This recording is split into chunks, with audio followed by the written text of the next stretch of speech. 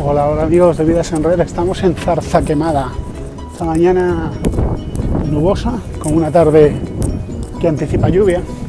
Esta tarde voy a Collado Villalba, pues se presenta así, así de mal. Y bueno, después de mi vídeo de condiciones de poca luminosidad, mi segundo vídeo fue un vídeo de interior con alguna escena que sí, fue de interior, saqué una escena de un hipercore y luego a mis gatos comiendo el sábado por la mañana.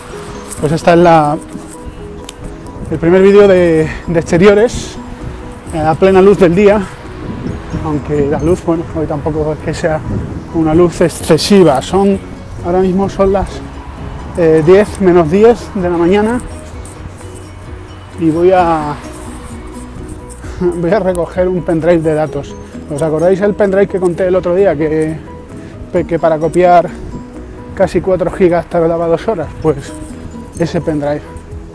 Así que me acerco a recogerlo y esta tarde me vuelvo a montar en el tren y a Collado Villalba. Y ya hoy en Madrid eh, se hace necesario llevar algo más que una chaqueta, como llevo yo, que un traje de entretiempo más o menos, no es un traje de verano, pero tampoco es que esté muy abrigado. Estoy pasando frío.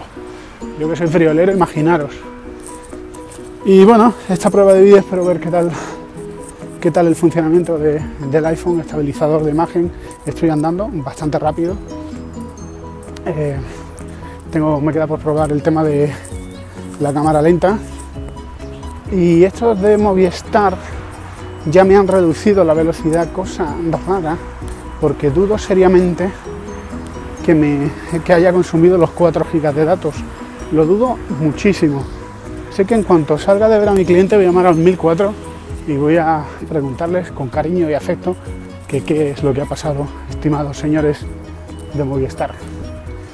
Tengo 4 gigas, chicos, y ahora mismo ya me han aplicado una reducción de velocidad, pero, pero brutal.